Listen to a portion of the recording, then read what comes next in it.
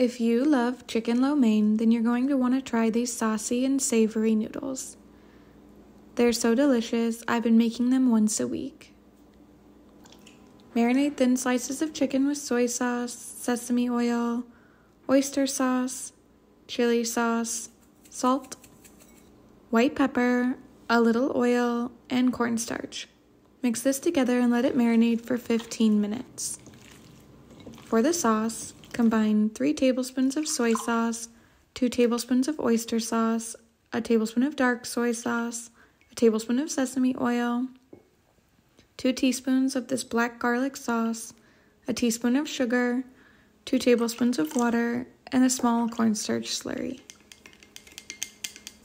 Add oil to a large pan and as it's heating, place the marinated chicken in a single layer. As it starts to brown, flip the pieces and continue to saute until fully browned and cooked. Then remove the chicken from the pan. Then add a little more oil and whatever vegetables you like. I'm using broccoli, carrots, red bell pepper, green onion, and zucchini. And begin cooking the vegetables. As the vegetables cook, you can also boil the noodles. You can use whatever noodles you like, then strain and rinse them with cool water.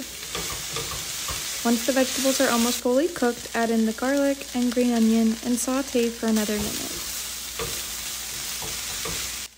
Then add in the chicken, the noodles, and pour over the sauce. Then saute everything together until it's all coated in that rich umami sauce. Then finish it off with a little sprinkle of sesame seeds.